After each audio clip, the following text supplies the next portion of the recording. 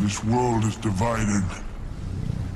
They are a primitive species, unevolved and at war with one another, too separate to be one. Their free will must be ripped from them.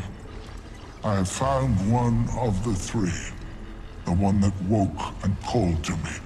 They search, they take prisoners who carry the scent, while I build a stronghold in the name of his glory.